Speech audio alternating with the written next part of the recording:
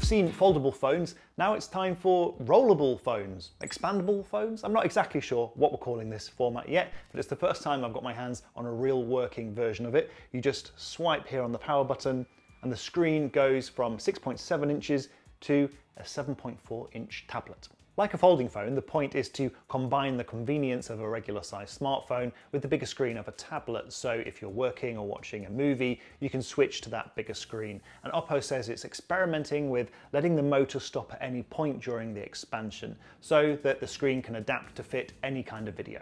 Now I think they've done quite an elegant job of this. You just swipe up on the power button and the phone opens up and swipe down on the power button to close it again. There is a little bit of motor noise which you can hear in a quiet room but I don't think it's too distracting. And obviously I've tried squeezing the phone to force the motor, and when you do that, the motor just kicks in and closes the phone.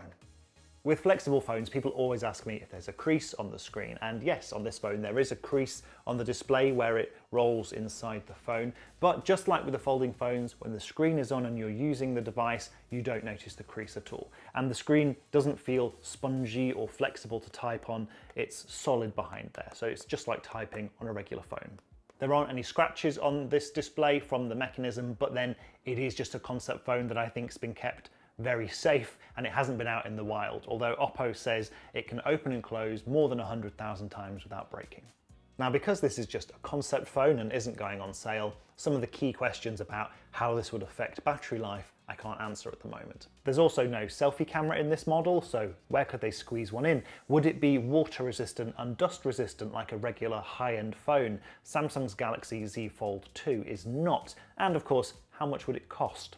Other companies, including LG and TCL, have teased that they're working on a very similar rollable phone to this, although Oppo is the first company to get a working version in my hands. They say they developed this independently and have applied for lots of patents for the technology inside it. But they're not going to sell it, so I asked the company why they're showing it off. Oppo believes in only bringing products to the market when they meet a really strict uh, product testing process and at the moment we haven't pushed this device through that just yet. It's to show our innovation and our forward thinking into new technologies and just showcasing what the future of a smartphone form factor could actually be in the coming years.